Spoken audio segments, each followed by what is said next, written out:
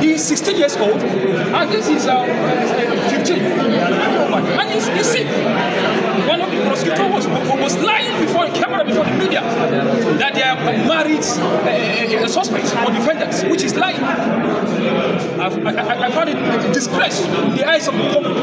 How possible this kind of a, a, a juvenile, a minor, will be assumed as a married, underage to be prosecuted? The slap in the eyes of the public and the international society. We cannot longer take this. The federal government should consider, and we must, we must hold the uh, Inspector General Police accountable for longer detention, despite the fact that he has an order of the court for detaining them. But carrying them all the way from Kano, all the way from Kano,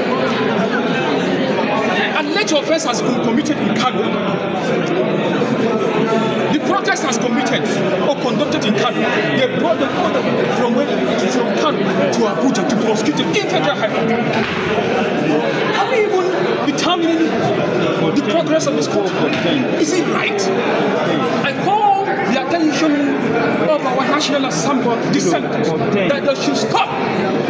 They should stop. I want that they should stop the process of extension or passage of that bill for the tenure of the Inspector. In fact, in a developing country, he should have been fired.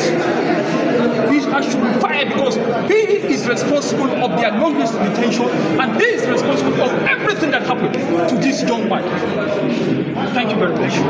Please.